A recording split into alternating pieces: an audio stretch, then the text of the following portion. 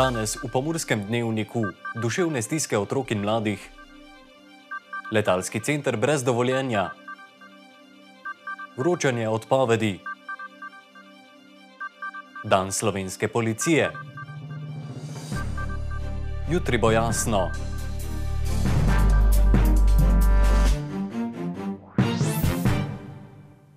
Spoštovane gledalke, cenjeni gledalci, lepo pozdravljeni. Predsednik republike Borut Pahor je včeraj priredil pogovor strokovnjakov o duševnih stiskah otrok in mladih ob epidemiji COVID-19. S pogovorom je želel upozoriti na stiske otrok in mladostnikov, ki so se glede na statistične analize ob epidemiji COVID-19 močno povečale. Dejstvo je, da se mladi tudi po koncu epidemije še vedno srečujejo z duševnimi stiskami. V špici epidemije in zlasti po njej, ko sem se marsikje srečal z mladimi, bodi si da je šlo za pogovor o splošnih zadevah ali pa o čem drugem, tako rekoč nikoli ni šlo mimo njihovega opozorila, zelo iskrenega, da pri sebi ali pri uh, svojih sošolcih, uh, sošolcih v osnovni in srednji šoli opažajo probleme uh, povezane z duševnim zdravjem. In v celju, na enem zadnjih pogovorov, sem bil deležen celo apela, da se država primerno odzove. In naš cilj je, da skozi izmenjavo mnen pridemo danes do nekega nabora ukrepov ali pa vsaj pričakovanj v zvezi z njimi tako na praktični kot na sistemski ravni. Nekatere, nekatera ukrepanja bodo, vedno, bodo verjetno dolgoročna, nekatera pa morajo biti tako rekoč kratkoročna, glede na neko posebno situacijo, v kateri smo se znašli. Ta problem pa se ni pojavil kar naenkrat v času korona krize. Čas COVID-a je na področju duševnega zdravja gotovo razgalil problematiko do kosti, problematiko, na katero smo mi že leta opozarjali. Prav tako je COVID skoraj da enotno, nisem zasledila drugačnega mnenja, povezal strokovnjake, vse, ki delujejo na tem področju, klinične psihologe, svetovalne delavce, pedopsihiatre, terapevte, um, svetovalne delavce po šolah. Skratka, mnenje je enotno. COVID je poslabšal duševno zdravje v tolikšni meri, da je potrebna urgentna pomoč. Pomembno je, da se lotevamo te teme tudi zaradi tega, ker ne vemo, kaj nas čaka jeseni. Nihče nam ne zna z gotovostjo zatrditi, kaj nas čaka, ampak ob tej priliki vendarle bi položila na srce vsem odločevalcem, če bo prišlo do naslednje situacije, ko bomo morali zapirati javno življenje, prosim, šole zapirajte zadnje. Šole so enostavno bile zaprte predolgo in posledice so tudi stiske glede duševnega zdravja otrok. Zaradi dolgotrajne izolacije so bili otroci prikrajšani ob svoje razvojne potrebe. Sedaj se pri njih opazi pomanjkanje motoričnih in socialnih spretnosti. Vse to ima svoje posledice. Da ne govorim naprimer o temi, ki je popolnoma spregledana. Ali je bilo poskrbljeno za nadarjene učence, so se lahko odeležili tekmovanj, kako je bilo poskrbljeno za njih. Pozivam in sprašujem in mislim, da je nujno potrebno opraviti temeljito celostno raziskavo, kaj je prineslo šolanje nadaljavo in ne samo to, na osnovi tega, kakšni so celoviti ukrepi za začetek prihodnega šolskega leta. To je ključno vprašanje. Jaz mislim, da se je izgubljena šolska kondicija navrne kar z uh, enim klikom, a ne zdaj, ko COVID-a ni več, pa so počitnice, zdaj problemov ni več. Jaz mislim, da to ni res. Potrebna je tudi okrepitev učinkovitosti svetovalnih, eh, vseh svetovalnih služb, vseh zdravstvenih služb, ki bodo nudile psihološko podporo na vseh koncih Slovenije. Otrok v Trenti potrebuje pomoč tako učinkovito kot otrok, ki živi v centru Ljubljane. Tudi vodja nacionalnega programa za duševno zdravje pravi, da je na tem področju bilo storjeno premalo. Eh, moram priznati, da sem izjemno zaskrbljena zaskrbljena na eni strani kot vodje nacionalnega programa duševnega zdravja, programa Mira, ki sicer ponuja rešitve za boljše duševno zdravje vseh v Sloveniji, vendar je neuslišan strani odločevalcev, zaskrbljena kot državljanka Republike Slovenije in ne nazadnje kot babica štirih vnukov, ki obiskujejo osnovno šolo. Zakaj taka zaskrbljenost? Zato, ker je situacija na področju duševnega zdravja otrok in mladih zares alarmantna. Skrbeti bi nas moralo kot celotno družbo, saj slabo duševno zdravje ogroža 20 do 30 odstotkov mlade populacije. Odziv odgovornih resorjev in odgovornih odločevalcev pa je neustrezen in nezadosten, kot bi se smele iti te težave mimo njih, kot da, zih, da se jih ne bi dotikale. Kljub mnogim pozivom vseh treh ministrstev že od lanskega marca dalje, pozivamo k povezanemu in načrtovanemu ukrepanju v podporu duševnemu zdravju celotne populacije v času COVID krize. Še posebej pa podporo otrok in mladih do tega ni prišlo. Predsednik Pahor si bo še naprej prizadeval pomagati pri iskanju ustreznih rešitev, ki bodo otrokom in mladostnikom pomagale ob soočanju z duševnimi stiskami in v oblikovanju načinov, kako ravnati ob podobnih situacijah v prihodnje. Tudi letos se pojavljajo zapleti glede protitočne zaščite na vzhodu Slovenije. Glede cene in časovnega okvirja zaščite se že pogajata Ministrstvo za kmetijstvo, gozdarstvo in prehrano ter Mariborski letalski center. Kot je že redna praksa, so se pogajanja pričela pred 1. majem letošnjega leta, a do danes pogodba še ni bila sklenjena. Zataknilo se je pri denarju. Sklep vlade sicer določa, da se proračunska sredstva Slovenije namenijo za sofinanciranje zaščite v deležu 35 odstotkov vrednosti projekta pod določenimi pogoji. V izvajanje mora biti vključenih vsaj polovica občin zbranjenega območja severovzhodne Slovenije. 20. aprila 2021 so tako poslali letalskemu centru ponudbo za sodelovanje. Center je na to do 28. aprila oddal svojo ponudbo. Ministrstvo je ponudbo pregledalo in tako so ugotovili, da je ta višja kot leta poprej, zato so letalski center pozvali k pogajanjem. Po pogajanjih so na centru ponudbo znižali za 23,9 odstotkov, a ministrstvo pravi, da končni znesek še vedno močno presega razpoložljiva sredstva. Po zagotovitvi zadostnih sredstev so preverili izjavo ponudnika, da ima registrirana letala v generalni kategoriji, sistemi za vnos reagentov pri pristojnem organu, torej Agenciji Republike Slovenije za civilno letalstvo. Mnenje Agencije za civilno letalstvo je bilo, da letalo Cessna TU-206, ki je sicer namenjeno izvajanju letalske obrambe pred točo, nima ustrezne odobrene opreme za izvajanje zaščite pred točo. Mnenja so, da se letalo tako ne bi smelo uporabljati v te namene. Darko Kralj, vodja zaščite proti toči na letalskem centru v Mariboru, ob tem pravi, da do danes še niso imeli nobene nesreče, a kljub temu je agencija izdala mnenje, da se jim oduzame dovoljenje zaradi povečane nevarnosti.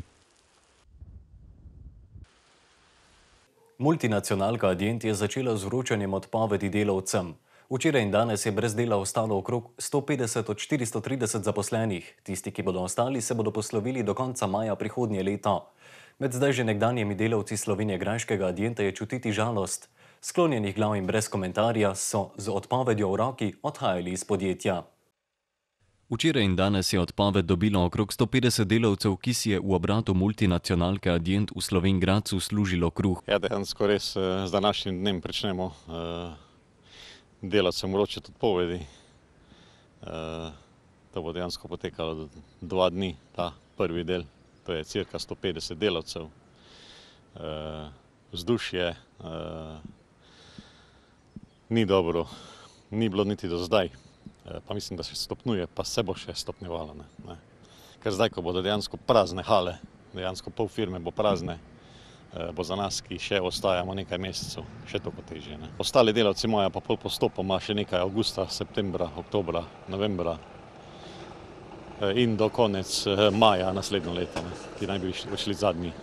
Kar nekaj investitorjev naj bi že pokazalo zanimanje za proizvodnjo v adjentovih halah, vendar konkretnih imen zaenkrat ni. Kot imamo informacije, eh, je neko zanimanje, ampak eh, nobenih uradnih informacij, nobenih imen. Eh, jaz pričakujem, pa tudi vsi delavci upajo, da mogoče se še bodo lahko kdaj vrnili na to lokacijo, če ne bodo zadovoljni z novim delodajalcem.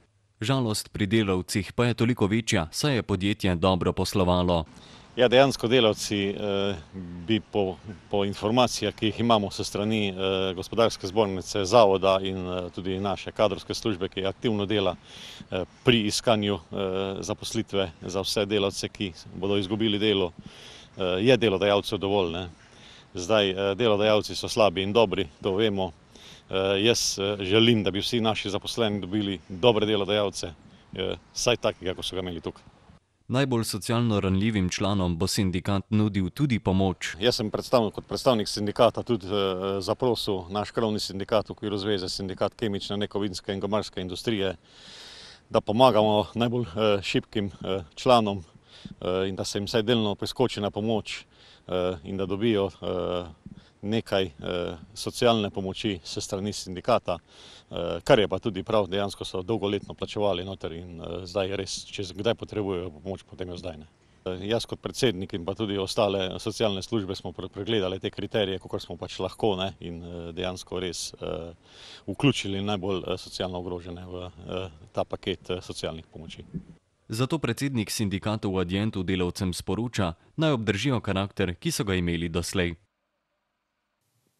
Ob dnevu policije in 30-letnici bojev je včeraj na Hulmcu zvečer potekala slovesnost, na kateri so govorniki predsednik republike Borut Pahor, minister Aleš Hojs in generalni direktor policije Anton Olaj podarili pomen in dosežke policije ter izzive, ki jo čakajo v prihodnje. Objekt na meji so slavnostno poimenovali po dveh padlih policistih. Konflikt na mejnem prehodu Holmec se je začel že 27. junija leta 1991, zato so si slovenski policisti ta datum izbrali za svoj praznik, Dan slovenske policije. Mejni prehod Holmec je v našem spominu zaznamovan kot simbol odločnosti, hrabrosti in požrtovalnosti slovenskih policistov, ki so skupaj s teritorijalno obrambo Republike Slovenije branili in obranili mejni prehod. S tem so simbolno in dejansko zavarovali nastajajočo suverenost in ohranili povezanost novo nastale države s svetom. Holmec je tedaj pomenil pomembno zmago in dokaz, da je takratni nasprotnik premagljiv, kljub svoji premoči v obrožitvi. Slednja ni mogla nadomestiti izjemne motiviranosti in poguma policistov, in pripadnikov teritorijalne obrambe. Spopad za mejni prehod Holmec je simbol enotnosti, premišljenosti in sodelovanja, zmaga pa je rezultat poguma, znanja in odločnosti. Nič, prav nič, kot je bilo že rečeno, ne more omadeževati tega pomembnega dogodka. Zmaga 81 policistov, 27 aktivnih in 54 rezervnih, in 233 pripadnikov teritorijalne obrambe je bila pomembna tudi stališča motiviranja, navdihovanja drugih enot, ki so bile tedaj po vsej naši deželi v spopadu z jugoslovansko armado. Dokončno se je razblinilo prepričanje, da so jugoslovanska armada in zvezdne službe bolje usposobljene in močnejše od naših obrambnih sil. Spopad, ki je potekal od 27. junija do 29. junija leta 1991, torej neposredno po razglasitvi naše suverenosti, je bil boleče zaznamovan tudi za dvema žrtvama rezervnih policistov Bojana Štumbergerja in Željka Ernoviča.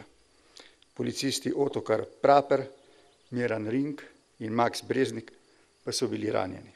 Pahor je ob tem spomnil na dosedanji razvoj slovenske policije in dejal, da je to danes sodobna policija, ter da je visoka stopnja varnosti, ki jo uživamo v Sloveniji, prepoznana in nam jo zavidajo mnogi. V današnji oddaji Soboški ekran smo gostili direktorico Zavoda za kulturo, turizem in šport v Murski soboti Brigito Perhavec. V času epidemije koronavirusa je bila organizacija raznih dogodkov precej otežena. Kljub temu so v Zavodu za kulturo, turizem in šport v Murski soboti uspeli pripraviti pestro ponudbo za letošnje poletje. Vsi ukrepi oziroma navodila so se nekako spreminjala. Enkrat smo se pripravili tako, potem so se spet eh, navodila spremenila. Eh, zdaj je nekako se ustalilo to. Eh, je pa res, da so zato višji stroški prireditev, organizacije prireditve, ker je treba zagotoviti varnostno službo. Eh, potem zagotoviti vsa razkožila, eh, navodila, eh, omejiti prostor. Obiskovalci so bili nekoliko nevoljni na soboških dnevih, na teh koncertih v, na slovenski ulici, kajti mi, morali smo omejiti prireditveni prostor, v katerega smo namestili stole na primerni razdalji, kakor je bilo pač zahtevano in pa eh, v ta prostor so lahko vstopali samo eh, obiskovalci, eh, kako jim pravimo, PCT, torej preboleli, cepljeni in pa testirani. In seveda nismo pregledovali potrdil, zaupali smo, to niti nimamo pravice pregledovati, preverjati ta potrdila. Eh, ampak eh, ljudje so prišli, zasedli eh, stole in so uživali. Seveda so pa bili najbolj nevoljni tisti, ki so ostali izven tega in so slonili zgolj na, na ograjah tega prireditvenega prostora. Ampak na koncu bilo, so bile prireditve zelo, zelo dobre, dogodki so izveneli v bistvu fantastično. Tudi izvajalci so rekli, da če ni bilo ravno pred odrom množice, da so začutili energijo, ta feedback iz publike eh, in je res bilo eh, dobro, ampak pač te posebnosti so in tega se moramo držati, dokler so.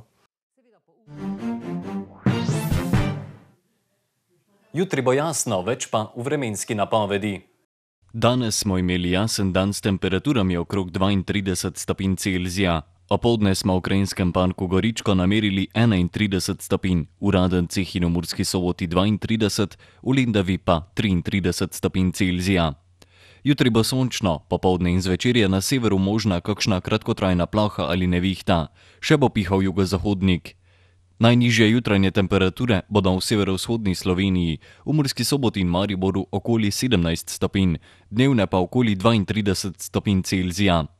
V noči na četrtek bodo zlasti v severni Sloveniji krevne nevihte, prehodno bo zapihal severni veter.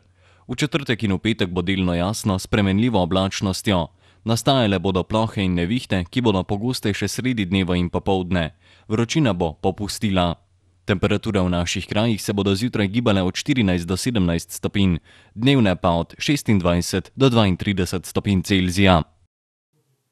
Toliko smo vam imeli povedati v današnjem pomorskem dnevniku, več informacij pa najdete na naši spletni strani.